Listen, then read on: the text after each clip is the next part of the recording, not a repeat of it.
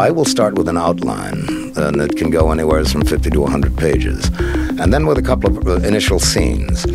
And then a lot of the book will depend on the development of the characters as, as they are developed, as I develop them.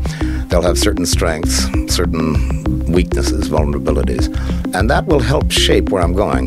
The complexity is deliberate. Life isn't simple, and, and as a result, I don't stay away from complexity for fear that I'm going to be confusing someone because I, I think people are much smarter than that. Uh, I think readers don't mind complexity, and I, I guess, in my case, I guess they don't.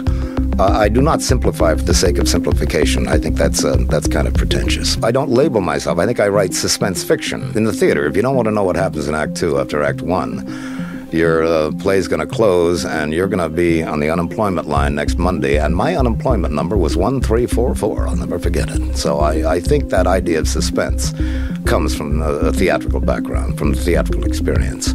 I think one of the nicest things that somebody said about the violence in my books uh, was that uh, after you read a violent scene in one of Ludlum's books, the last thing you want to do is go out and get in a fight. You can't go through what I put a character through uh, and not be exhausted. I, I was watching a, a, film the other night on television, a late night uh, film, and here was a guy running up a hill. He was doing all the Rambo nonsense you can think of.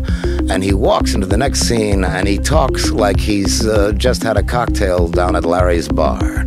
I mean, it's unbelievable how they. No, the human condition can't take that. When you're hurt, you're hurt. You don't. You don't recover that quickly.